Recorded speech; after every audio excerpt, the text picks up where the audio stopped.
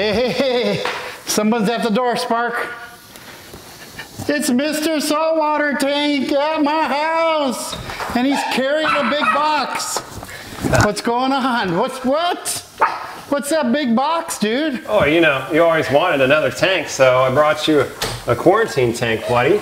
Nice. You said you wanted to put in your bedroom, so I'm willing to bet your bedroom's upstairs. Let's go. Right on.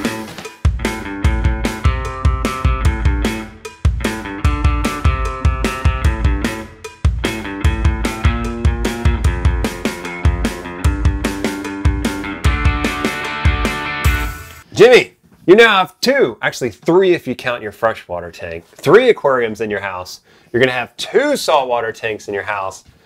Welcome to your quarantine setup. This is our quarantine kit that we sell here at saltwateraquarium.com. It's pretty small.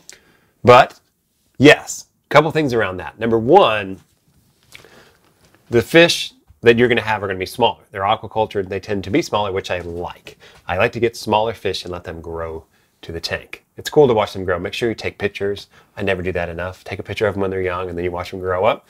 For the fish that are going into your tank, this size is appropriate. If you had, you knew you're going to get like a, a four inch blonde naso, then yes, I would get like a 40 gallon breeder or a 55.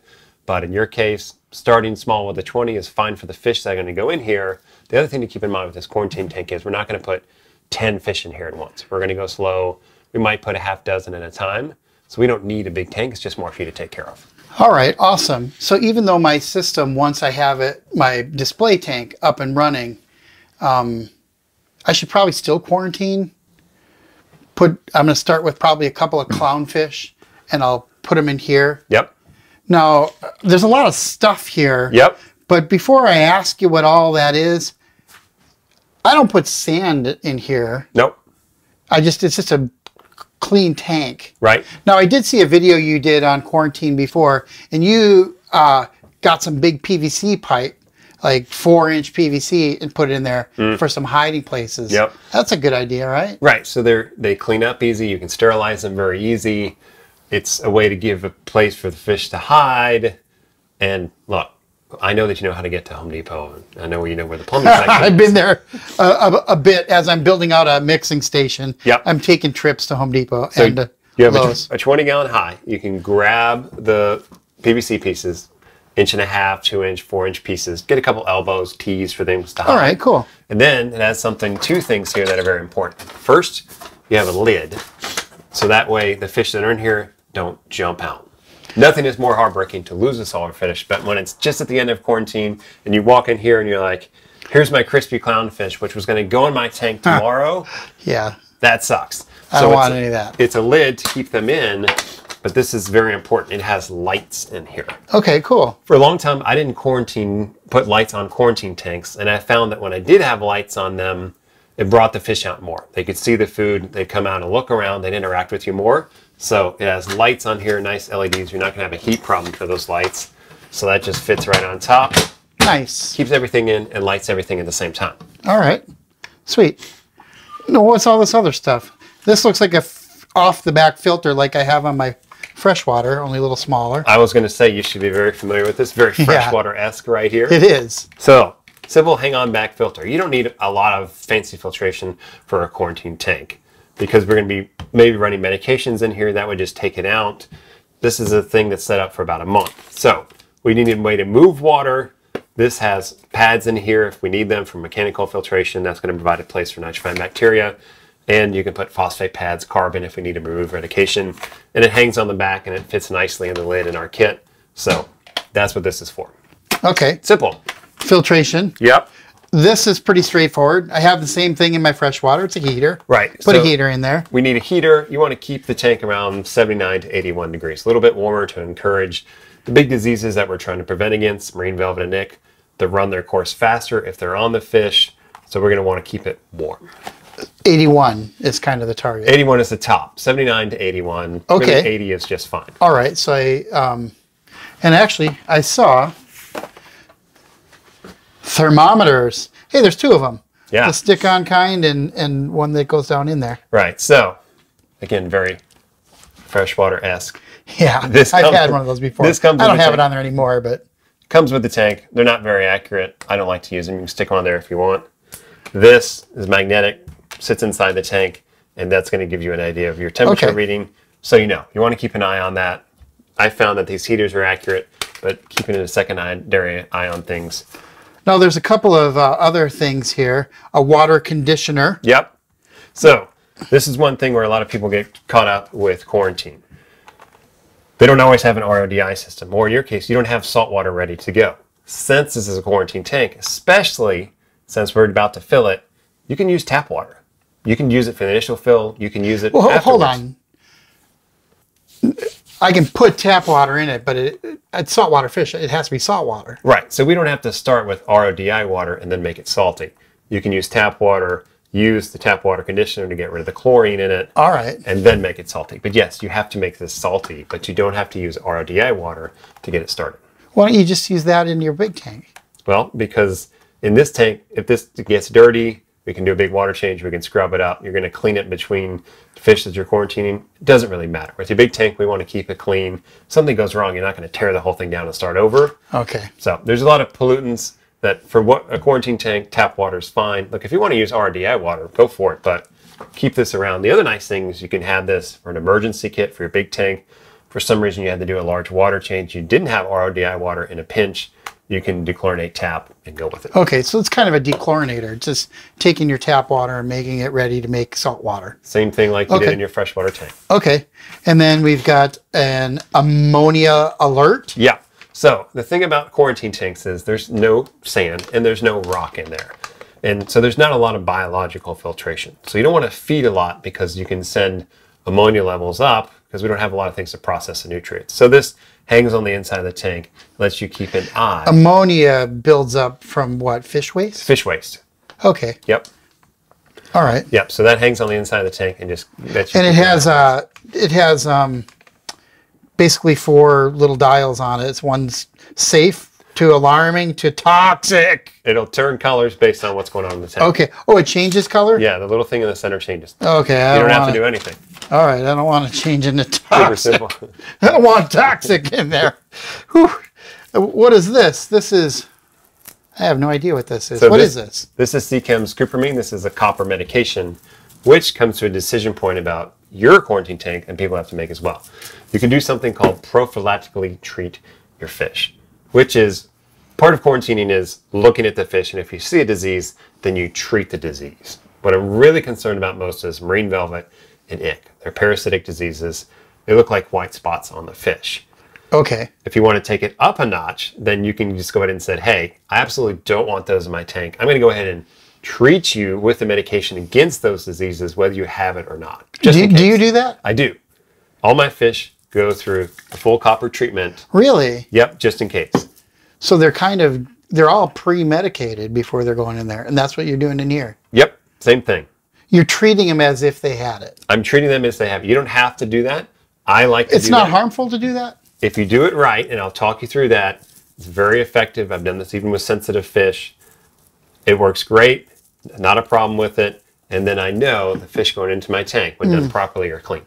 All right, that that sounds great. So you're basically treating them as if they had it, Exactly. and then uh, you know that they don't. Right. Okay. So we do that, and then grab your nitrate kit. Nitrate, Yeah, so nitrate, and there's a copper test kit as well. copper. This is to make sure you put the right amount of copper in the tank. You don't want to overdo it because then it can be toxic, but you Okay. don't want to underdo it because then it's not effective. So these two go together. And then All right. we talked about nutrients. You want to keep an eye on your nitrates. If your nitrates get too high in here, then you want to do a water change. Okay. Simple to use nitrate test. kit. What was the other? Was ammonia. Ammonia. ammonia is from fish weights. Nitrate So happens how? nitrified bacteria would take the ammonia, would take it through it, basically a way of digesting it, and then end up in nitrate. Okay. So this is an instant read. Okay. You want to do a test for this. Okay. Okay? I still have one more little bottle over here. Ah, the good stuff. The good stuff. I can't read through all the nice packaging. I've used it so much, I know what it is. what is it? This is Dr. Tim's one and only nitrified bacteria. So, since this is a fresh saltwater tank, it's sterile. We have to put the bacteria to digest the ammonia, to process the ammonia, to take it to nitrite, to then take it to nitrate.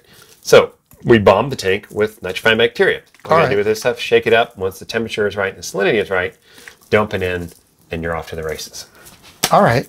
So it comes with a bottle of that to start this. Now, what you don't want to do is go, oh, this is a fresh tank. I'm going to call my buddy who's got a saltwater tank. I'm going to go get a piece of rock from his tank or water from his tank and put it in here. Because then if his fish are sick, they could be bringing in a disease to your fish. So we're still going to treat them against it, but we want to keep things as biosecure as we can. That makes perfect sense. That makes perfect sense. I've got um, just three other things here. We've got some, looks like quarter inch, quarter inch uh, tubing. Yep. straw for drinking, So drinking straw.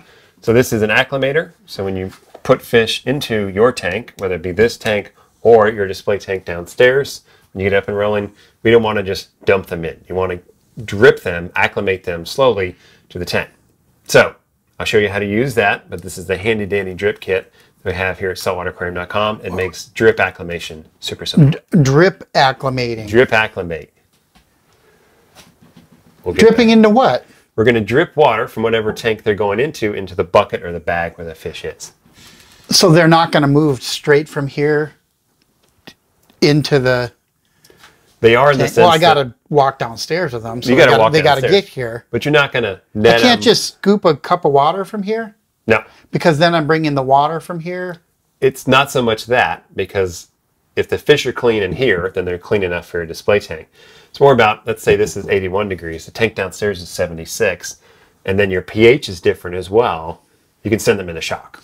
Okay. Imagine going from Minnesota snowstorm to Orlando, Florida, in 10 seconds. Yeah. It's not good. That's not good. So the drip acclimation kit makes drip acclimating them very simple. We'll talk about that, but this makes the drip easy and you want to clip so that this doesn't fall out of your tank or out of the bucket. Makes it very easy. So I'm dripping out of here into a bucket. or the bag where the fish is. Either one.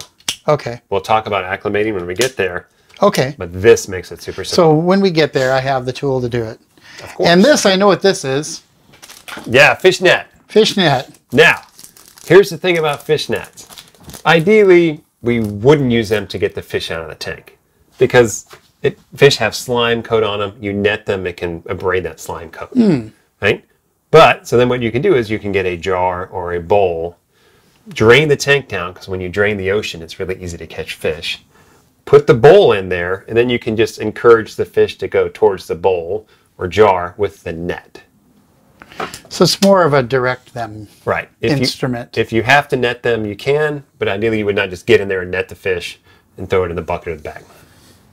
I feel so bad right now Why? because my my uh, anytime I ever did anything moving my freshwater fish, I always netted them with a net. Freshwater fish are pretty bulletproof. In ideal world, you wouldn't. I like to be a little gentler with saltwater fish, so we have it as part of the kit. So this is Oh, I'm learning, dude. everything you need to quarantine your fish, short of the PVC pieces. Again, get various sizes. You can get that locally, but everything you need is right here in the kit. Except for salt. except for salt because look here's the thing about salt you can use a non-reef tank salt the salt that we're going to put in your tank that's for a reef tank it has higher calcium higher magnesium higher alkalinity doesn't matter with fish they don't care you don't want to use table salt but you can use an instant ocean product a salt that's not necessarily So the Dr. Tim's doesn't do it. nope Dr. Tim's does not make it salty Doesn't make it salty. So that's just the bacteria that I need in there to make it livable salt water. Now, Right. do you do the same thing in in the the big system? yep Okay. yep All right. So let's get this running, and I want to buy some fish. Now, the last thing that we got to talk about is where's this thing sitting? You're confident that this dresser can hold this tank. You fill it up, it's going to be Oh, 160 I can gallons. stand on this. I'm well. I'm not going to talk about how much I weigh, but it's a lot more than this. Okay. So And I've stood on this maybe and walked move around it to on the edge just for my peace of mind, so it doesn't bow. Uh, dude, you can jump up on here. It's I. I have no worries. Okay, so the last thing to think about with where you're going to put your quarantine tank is two things. One, we don't want to put it in like a kitchen area because then if you come in late at night or you get up early in the morning when the lights aren't on, you turn on the room lights and then it shocks the fish. The flip side of that is we want to put it somewhere where you're going to see them. We want them to get used to you. If they only see you once a day or twice a day when you come to check on them, then you're a new thing all of a sudden, all the time, every day, they don't really get used to you. So you want to put it somewhere that will support the tank, and ideally somewhere where they're going to see you walking around or you know you're going to walk in. In this case, this room's right by your bedroom. You're going to be coming in here frequently. You're probably going to be coming Well, My video game station's right here. Perfect. That's not going to freak them out when I'm playing Gran Turismo and I'm driving my. I did just as long as you're not doing it at 10 o'clock at night. Like if the lights are off in this No, room, No, I go to bed by then. try to keep I'm the old. lights off in the room. Yeah. If they're not on, then don't turn them on until Well, my dog's crates are in here. This is a spare bedroom. Um, my dresser's in here because my master, my upstairs bedroom that, um, that I use is pretty small. So I come in here and I get my clothes every day and I play games in here. But it's just kind of an, a multi-purpose game room, gaming room right now for my video game, and it makes sense for it to be in here. Now it is up the stairs and a long way from my display tank, but you know the, the fish are going to move in a little bowl or whatever down Right. to the display tank. When you want to do a water change, you can do into a five gallon bucket that's 25% in here, mix up tap water from the sink, add your dechlorinator, add in your salt, put it back in here. Yeah, and I'm going to do the same thing with with corals. Do I quarantine them in here? So you would not quarantine them in here. Here's the thing that I found about quarantining corals. Okay. In an ideal world, you would, but also if you're going to that extent to quarantine corals, then you would keep fish away from them so that the coral doesn't potentially harbor the fish disease. But I found when I quarantine corals, since there's no fish around, the water's very clean, the corals didn't make it. So for me, I'm willing to take the risk of not quarantining the corals. I bring them right in, I dip the coral. We'll talk about that when we get to corals in your tank. Okay. But I found that if I try quarantine corals in a true coral quarantine system that doesn't have fish, they don't make it. Hmm. Interesting. All right. You also don't have enough strong enough lights on this tank to grow or keep coral alive. So this is good for fish quarantine. Without some modifications, it's not going to work for coral quarantine. All right. Well, while I have Mr. Saltwater Tank here, Might as well ask me a question, Jimmy. and I've got a full system here, do you have a few minutes? Can we put some water in here and add the the Mr. Tim, Dr. Tim? You want to get that started? Well, if I put the water in here and I treat it, is it? I still have to put salt in here, Yep. And I have to test my salinity. Yep. Okay. So how far away am I? I mean, this is here. I Yep. can and I can put tap water in it. Yep. If I can set this up quickly and put salt in here, can I order a couple clownfish and start quarantine them? Sure. Sweet. In fact, what you don't want to do is Yes. get it set up, put the bacteria in, and then wait a week because the bacteria doesn't have anything to eat. It needs fish waste Okay. to eat. So put this in when you put your fish in. Put the bacteria in. Don't set it up. Put the bacteria. In. So like in. the day of. I put the fish in, put the bacteria in, and you're off to the races. Really? Yep. Okay. So I just need to do fill it up with tap water, put the uh, the tap water stuff. Yep. What did you call this again? Dechlorinator. That's not it. That's not it. That's not it. Dechlorinator. I'm going to put the dechlorinator in there. Yep. And the salt. Get my salinity correct. Yep. Then I'm going to order some fish. When I get a couple of clownfish, I'm going to put them in there. Yep. And then I'm going to put my Dr. Tim's in there, and I'm off to the races. I'm going to one up you. You can get three fish. I can get three fish. You get three fish. Here's what I would do: a pair of clownfish and an orchid dottyback. Orchid dotty backs sometimes have a bad name. Orchids I found are very gentle. They're actually pretty reclusive, so it's kind of fun. You're like, "Where's the orchid dottyback today?" Other dotties I'm not a fan of. Orchids I'm fine. We don't want to overload this with fish, but two clownfish and an orchid dottyback, great starter fish, and not too much for the tank. All right. Now I don't want to jump ahead because we're really just talking about quarantine tank. But um, when I talked to Jordan about what starter fish, he was showing me there were like so many species of clownfish. Yeah, I didn't know there were so many. I just thought it was like Nemo and Marlin, and that's That's for, that's what they look like. But Yeah. I saw some really cool ones that had other colors than just that orange and white. yeah. And I think you can mix the the clownfish. I'll, I'll get two of the same species to start. Right. But I think I'm going to do, I'll, and of course, I'm not going to do just all clownfish, but clownfish are cool.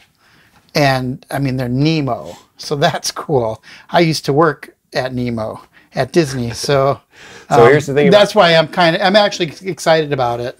With clowns in your tank, I would do a pair and leave it at that. Okay, do you a pair may be of get clownfish. two or three pairs, but you really want them to come in together. I found it doesn't work out. Just stick with your pair and go with it. Okay. All right. Now, if you want orange clowns, you want black clowns, take your pick. Make sure they're the same species, like you said. Yeah. Pick any ones you want. All right.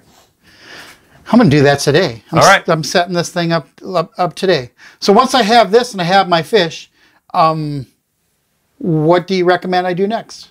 You got your quarantine, you're running through quarantine, you got to get your tank up and rolling. I'm very close.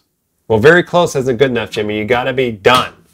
All right, get to it. I'm out. All right. Thanks again, Mark.